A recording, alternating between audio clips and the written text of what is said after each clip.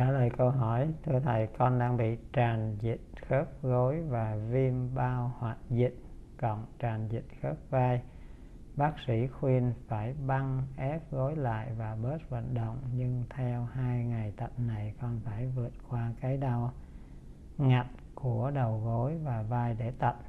Nhưng giờ tới ngày thứ ba, thức dậy, con đau nhức, gối không co duỗi được. Xin thầy cho con lời khuyên phải làm như thế nào? Thưa quý vị là nếu chúng ta thực tập đúng nguyên tắc à, thì chúng ta sẽ có sự điều chỉnh.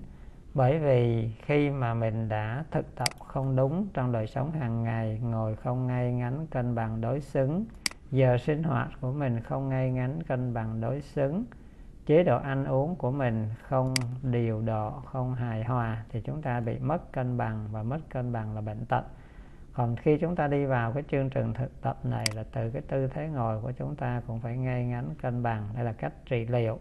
Khi chúng ta nuôi dưỡng thì chúng ta cũng phải nuôi dưỡng đúng giờ, theo nguyên tắc cân bằng đối xứng của vũ trụ.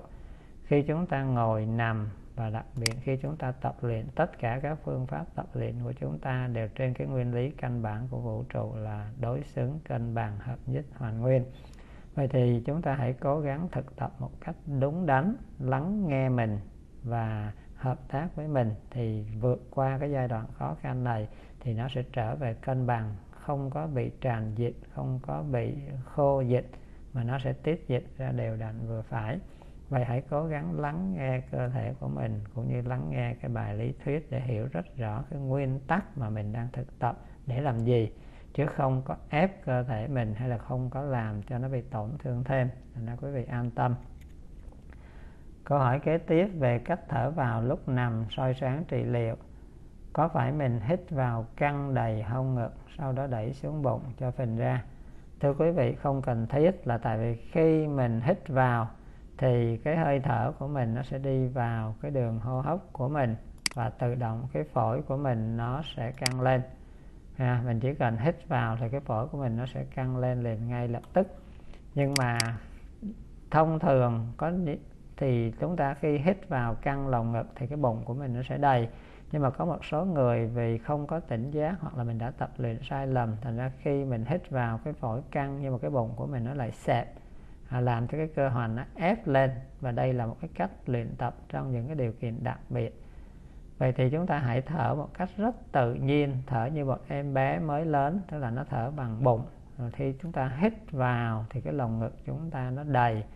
Thì khi cái lồng ngực chúng ta nó đầy thì nó sẽ đẩy cái cơ hoành xuống. Và khi nó đẩy cơ hoành xuống thì cái bụng chúng ta tự động nó phình ra.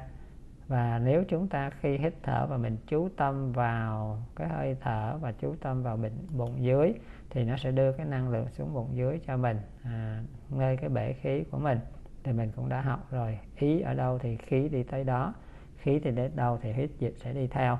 Vậy thì mình không cần cố gắng quá sức, mà mình chỉ hít thở một cách tự nhiên, chỉ cần chú tâm tác ý đúng đắn thì nó đã có cái lợi lạc rồi.